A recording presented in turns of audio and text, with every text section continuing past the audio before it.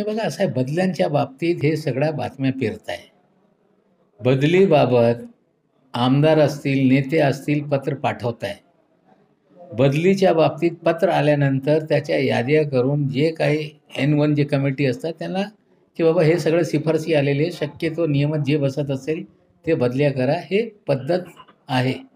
दुसरी एक बदली आहे एन टू.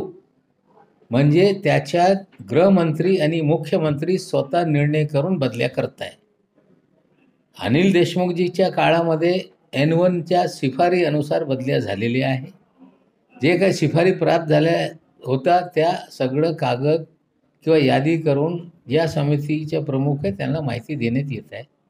शेवटी त्याच्यात अभ्यास करून जे शक्य आहे ते योग्य ते निर्णय घेत आहे.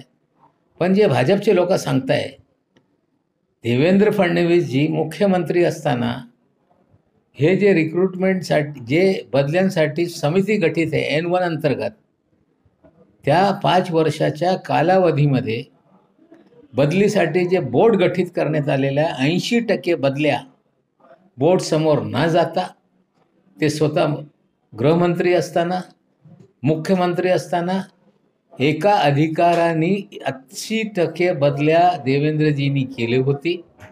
या काळामध्ये एन टू अंतर्गत बदल्या झालेली नाही. एन वन अंतर्गत बदल्या होते.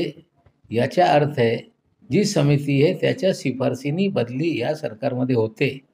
मागच्या सरकारमध्ये ऐंशी टक्के बदली देवेंद्रजींनी गृहमंत्री आणि मुख्यमंत्री दोन्ही पद त्यांच्याकडे असताना त्यांनीच निर्णय करून सगळ्या बदल्या केला होता आणि जे काही आता सांगताय की यादी देण्यात येत होती हे नवीन काही पद्धत नाही.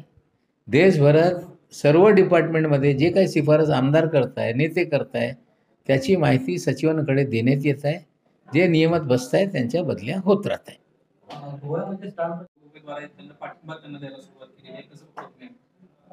नाही नाही नाही असं आहे की पर्रिकर साहेबांनी गोव्यामध्ये भाजपला उभारी दिली.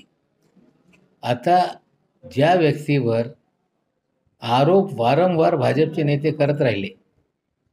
त्यांनाच उमेदवारी दे देण्यात आलेली आहे. त्यांना एक नाही दोन दोन जागा देण्यात आली. म्हणजे जे मूल भाजपचे लोक आहेत त्यांना तिकीट नाकारता येते. हे भाजपने स्पष्ट करून दिलेलं आहे. याच्यामुळे त्या मतदारसंघामध्ये पणजीमध्ये विशेषकर जनतेचं समर्थन या पर्रिकर साहेबांच्या मुलाला भेटते. लोक पाठिंबा देत आहे. आमच्या पक्षाची काय भूमिका आहे मी आता सांगू शकत नाही. पण तिकडचे जे स्थानिक आमचे गोव्याचे अध्यक्ष आहे त्या बाबतीत ते निर्णय घेतील. आमच्या गोव्यामध्ये आमच्या पक्षाचे तीन तेरा उमेदवार हे निवडणुकीच्या रिंगणात आहे. त्यासाठी प्रचारासाठी नेत्यांची नावं निवडणूक आयोगाला देण्यात आलेली. मी स्वतः उद्या आठ तारखेला उत्तर प्रदेशला चाललो आहे पाच चार तारखेला. आठ तारखेला उशीर रात्री परत येणार आहे. नऊ तारखेला आमच्या कॅबिनेट संपल्यानंतर पुन्हा मी गोव्याला जाणार आहे. आणि परत प्रचार संपेपर्यंत म्हणजे बारा तारखेला प्रचार तिथे संपणार आहे. तीन दिवस तिकडे प्रचारामध्ये मी स्वतः जाणार आहे. इतर नेत्यांचे कार्यक्रम जाहीर झाल्यानंतर माहिती आपल्या सर्वांना देण्यात येईल. भाजपला सध्या धक्क्यापी धक्का बसताना मर्यादित निवडून यायची मात्र आता राष्ट्रवादी काँग्रेसची ताकद वाढेल का? आणि नगरसेवकाची संख्या देखील वाढेल असं वाटतं असं आहे आढावा घेतल्यानंतर किती जागेवर ताकदीने आणि कुठे ताकदीचा उमेदवार आमचा आहे हे आढावा चौदा पंधरा तारखेला घेतल्यानंतर आम्हाला अंदाज येईल. पण संपूर्ण मुंबई जागा लढायचं नाही. आघाडी झाली तरी आम्ही आमची तयारी आहे. दोन पक्षाचं काही जमत असेल ती पण तयारी आहे. शेवटी सर्वांनी ठरवलं की आम्हाला स्वबळावर लढायचं आहे. तर शेवटी स्वबळावर लढण्याची वेळ आली. तर मर्यादित जागेवर लढून जास्त जागा कसा निवडून आणता येईल त्याच्या बाबतीत विचार विमर्श कार्यकर्त्यांशी आम्ही करणार आहोत. पालिकेच्या फेररचना झाल्यानंतर आज आम्ही मुंबईचे सहा जिल्हाध्यक्ष जिल्ह्याचे प्रभारी आणि आमचे सहा नगरसेवक यांची बैठक बोलवली होती. त्या बैठकीमध्ये फेररचना झाल्यानंतर जे सिटिंग नगरसेवक आहे त्यांच्या वार्डाची काय परिस्थिती आहे?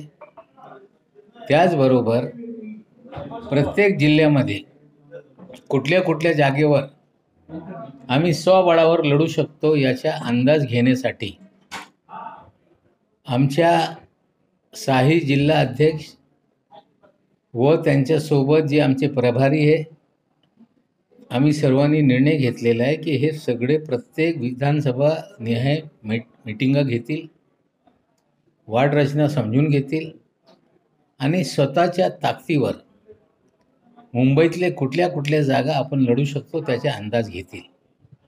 मग पुन्हा चौदा तारखेला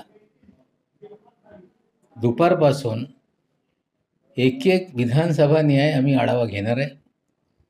त्यानंतर गरज पडली तर ही मीटिंग दुसऱ्या दिवशी पण कॉन्क्लूड करू आम्ही. आणि एकंदरीत मुंबईमध्ये स्वतःच्या ताकदीवर किती जागा आम्ही लढू शकतो सर्व जागा आम्ही लढू शकत नाही हे आम्हाला मान्य आहे. पण कुठली जागा आपण लढू शकतो स्वतःच्या ताकदीवर याचा अंदाज घेऊन मग इतर पक्षांसोबत काय करायचं आहे त्यांची काय भूमिका आहे त्यांच्याशी बोलणी करू आणि नंतर अंतिम निर्णय सर्व नेते बसून घेतील.